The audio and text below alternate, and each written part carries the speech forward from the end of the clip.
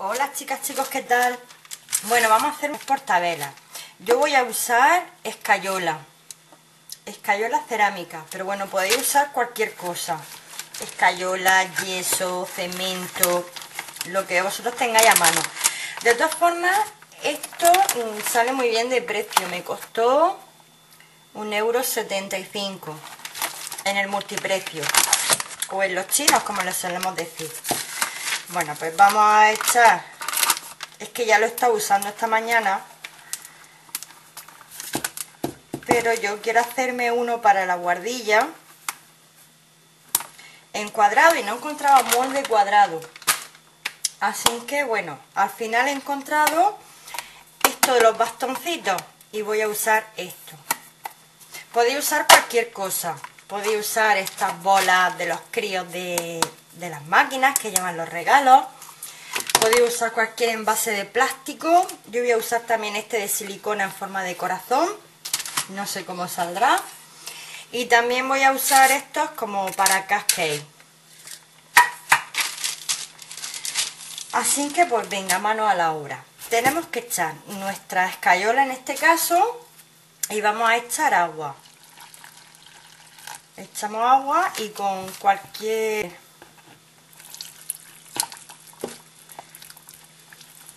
y con cualquier palo que tengáis, yo tengo esta espátula que es vieja, la tengo para las manualidades, vais removiendo bien. Bueno, ya tenemos nuestra masa hecha. Y ahora, como nuestro envase este de los bastoncillos lleva agujeros para que no se vaya saliendo por ahí, simplemente cogemos un poco de fiso y tapamos los agujeros. Ya está. Y así no se nos irá saliendo. Bueno, a continuación, de momento solo vamos a hacer este, que es el que más interés tengo para que el vídeo no se haga muy largo, claro. Pues nada, vamos a ir echando hasta la medida que queramos.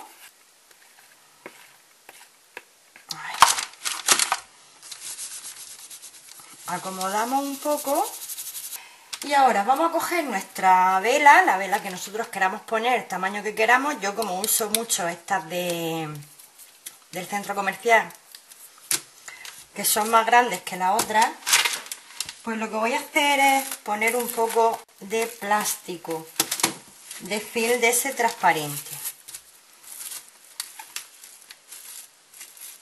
La voy a poner así.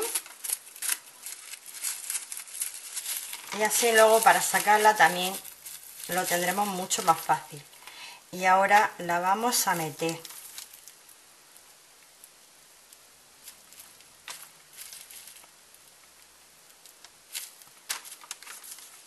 una vez que lo tengamos más o menos centrado así que quede bien hundida ¿eh? Luego no pasa nada si queda forma del plástico porque vamos a lijar un poco. Y esperamos a que se seque. Bueno chicas, pues esto ya ha secado. La verdad es que tarda muy poco en secar. De todas formas yo lo he hecho antes de comer y acabo de terminar de comer. Y ya está seco. Bueno, vamos a ver si lo podemos sacar. Damos unos pequeños golpes nos saldrá. ¿Sabéis qué pasa? Que la, la escayola es muy muy lisa, deja una superficie súper lisa. Y bueno, ahora vamos a probar, a ver si sale. ¿Veis? Sale perfecta nuestra vela. Ahora, lo que vamos a hacer es lijarlo un poco. Yo tengo estas dos clases de lija, pero esta pienso que va a dejar color. Entonces mm, la descartamos. Vamos a usar un trozo de lija blanca normal.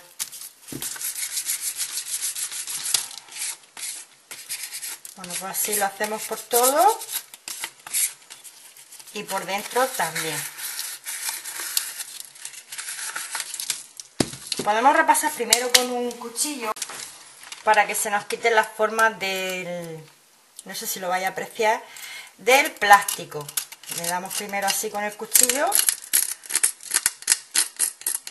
y luego lijamos y ya está.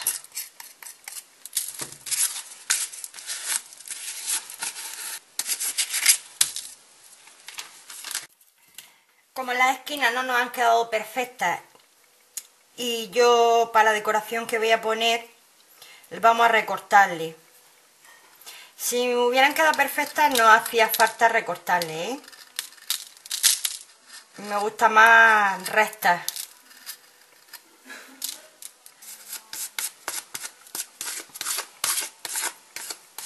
A ver, ya lo he, lo he recortado todas las esquinas. Así.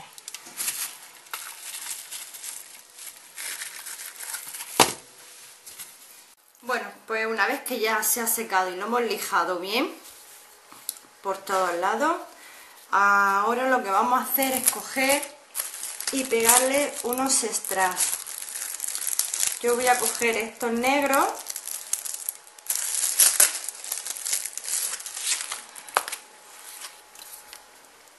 que hay aquí. Podríamos pegarle lo que quisiéramos, ¿no? Pero bueno, yo prefiero coger los strass estos vienen con pegamento, pero de todas formas no pegan muy bien. Así que lo que vamos a hacer, porque como esta superficie es tan lisa, resbala mucho. Vamos a usar mm, pegamento fuerte. Vamos a usar pegamento fuerte y vamos a ir pegando este del pincel, que queda muy bien. Pues pasamos un poco y a continuación vemos los que vamos a necesitar y los vamos poniendo así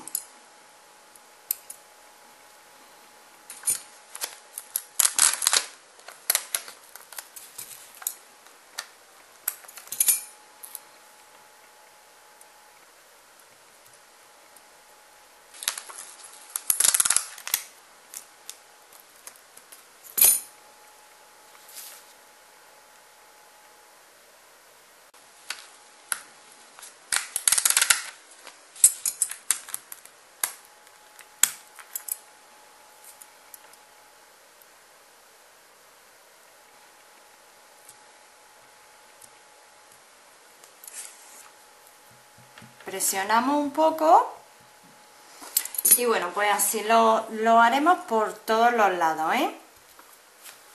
Bueno, chicas, pues ya veis cómo está quedando. Yo creo que está quedando muy bien. Nos queda este lado. Y hacemos pues eso, lo mismo. Nuestro, nuestra línea de pegamento fuerte. Cortamos nuestra tira de strass y colocamos.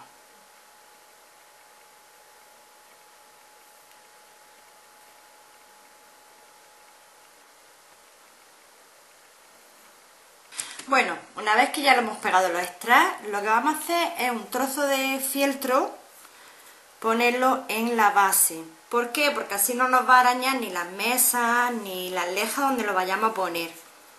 Si no, nos arañaría los muebles y lo mismo lo pegamos.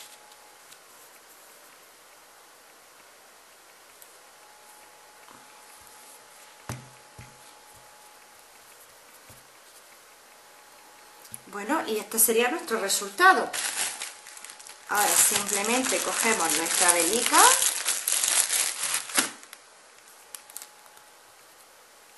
y se nos queda perfecto.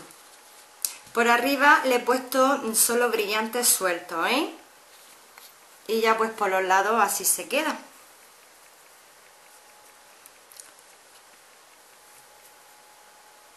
Yo creo que se vamos para mi gusto está muy chulo con los brillantes.